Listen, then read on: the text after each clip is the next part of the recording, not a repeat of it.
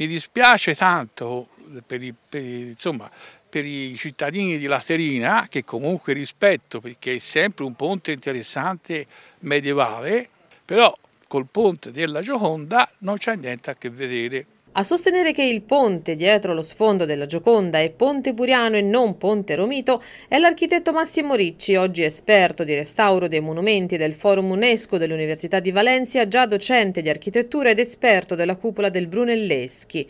È venuto appositamente ad Arezzo per ribadire la sua tesi. A portare invece la tesi che sarebbe il Ponte Romito è stata una ricerca coordinata dallo storico Silvano Vinceti resa nota un mese fa. In veste di esperto dell'UNESCO ho fatto gratuitamente una perizia su quello che è rimasto del ponte del Romito, quindi lo sono andato a vedere, me lo sono studiato e posso tranquillamente affermare che con la Gioconda non c'entra nulla. Tanto per cominciare, afferma Ricci, come tutti i ponti di epoca medievale, agli archi a tutto sesto e non ellittici, come invece a Ponte Buriano, ma non solo. Il contesto paesistico in cui ha inserito il ponte del Romito, sulla, sul lato destro ha una struttura muraria enorme che non è assolutamente rappresentata nel quadro della Gioconda, perché quella è una struttura originale dell'epoca.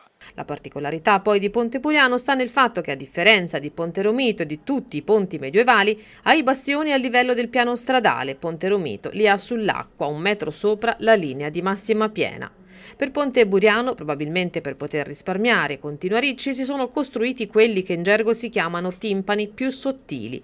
I bastioni, dunque, che arrivano al piano stradale, hanno la funzione di contrastare le spinte verso l'esterno dei carichi che gravano sul ponte. Un unicum, dunque, che non è sfuggito a Leonardo da Vinci. Perché Leonardo da Vinci, essendo una persona estremamente intelligente, e molto preparato anche sulla tecnica costruttiva, non gli è sfuggita questa caratteristica di questo ponte che gli ho appena descritto e quindi ha trovato un ponte che ha destato il suo interesse, perché questo è come dire un marziano rispetto ai suoi consimili e l'ha riportato giustamente nel quadro della Gioconda. Ma Addirittura, siccome aveva una mano eccezionale, quei pochi tratti che si riescono a interpretare dal quadro stesso dimostrano che i bastioni arrivano fino al piano di calpestio della strada.